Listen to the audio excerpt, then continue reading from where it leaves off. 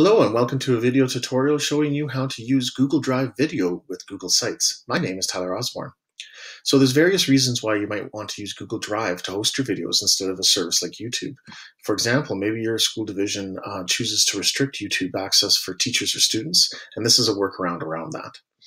Um, or perhaps you just want to avoid some of the ads and uh, the uh, recommended content at the end of the videos.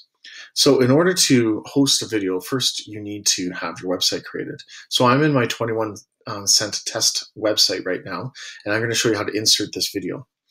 Now, you have all the options here from the insert menu, and what you want to actually pick is Drive. So I'm going to click the Drive button, and it shows me my Google Drive, and I'm going to quickly um, navigate over to where I have my videos hosted.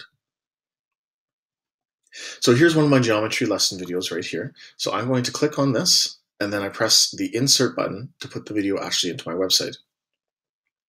Now, once it's there, I have the ability to ability to resize it or click and move it, just like any other option in a website. If you want to see how to do those things, I have other video tutorials that show how to do that.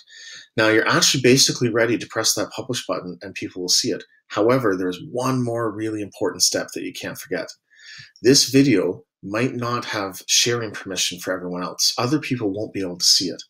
So this is a really common error that I see on people's websites.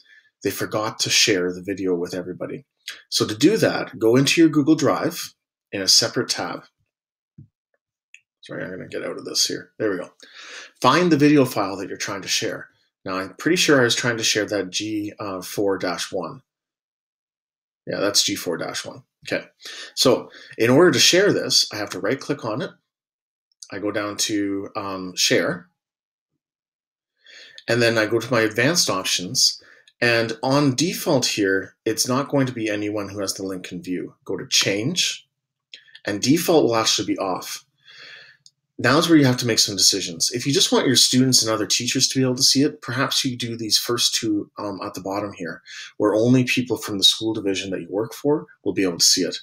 If you want anybody on the internet to be able to see it, my preferred one is anyone with the link.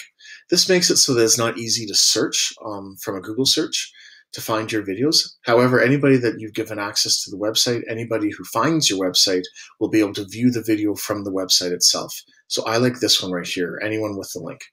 Press save.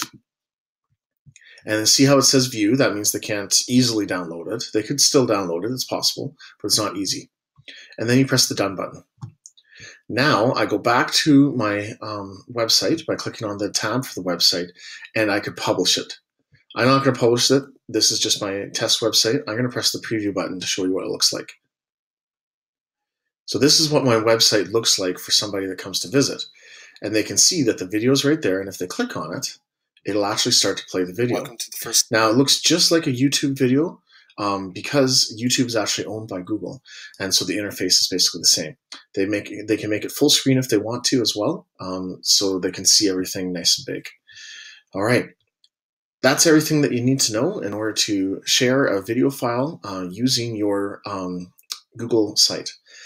My name is Tyler Osborne. Thanks for watching.